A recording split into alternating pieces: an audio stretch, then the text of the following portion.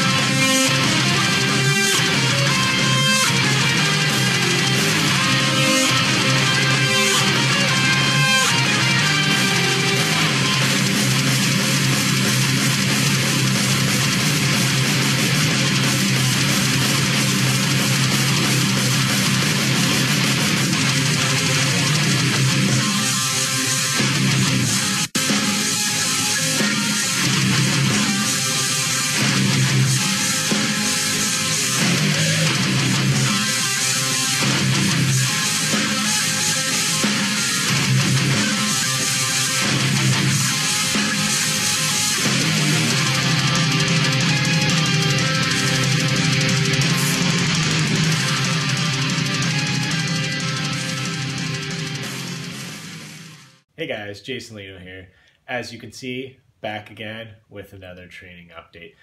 Now, you've probably noticed training looks a little different, and that's because, well, it is different. Uh, after about 15 weeks of my prior training, I realized that the higher volume approach, uh, focusing mostly on the main movements, isn't really for me. And the basic reason is because I need to work on those smaller muscles. That is the reality.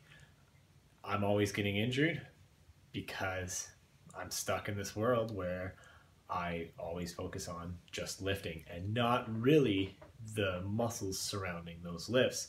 Now, um, this isn't me saying I'm injured because luckily I'm not.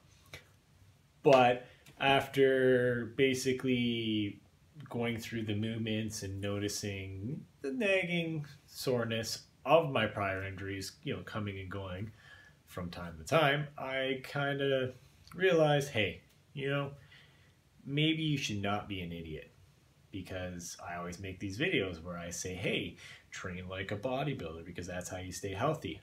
But I wasn't really doing it.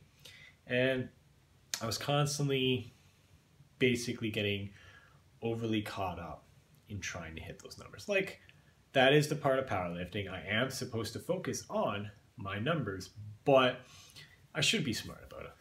Like, one of my favorite quotes is, How do you get strong? Train smart for like 10 years, right? Uh, well, not exactly, but it's along those lines. And that's what I'm going to attempt to do. Now, this approach is a little different from what I'm used to doing because it's kind of really simple, to be frank. And it's actually from probably one of the most famous powerlifters, and that is Ed Coan. If you guys don't know Ed Coan, seriously, I've talked about him many times in the past. I've done his deadlift program, and if you are into powerlifting, you know who he is. Uh, and I'm actually attempting to go through his training program.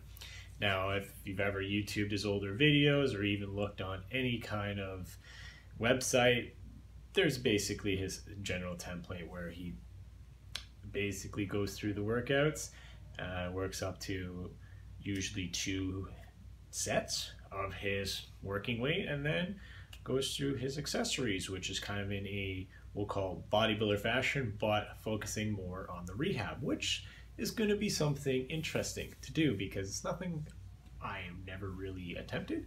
And uh, yeah, so we'll have to see. It's always good to throw something new in because then that way you can see what works best for you. Uh, but I just wanted to kind of give you a quick little explanation of why things are changing and what to expect. I might go over a little bit more in depth of what my training is going to entitle, but for today, I just wanted to kind of give you this little flashback Friday video of how I used to make my training updates and give you a little bit of an explanation as well. But guys, that's the video. So do me a favor, go down below, drop me some comments because I'd love to hear what I have to say. You know, if you want to hear more about what I actually plan on doing for my training, feel free to let me know. Uh, but other than that, just hit that like, share, and subscribe to spread that love because I will see you next time.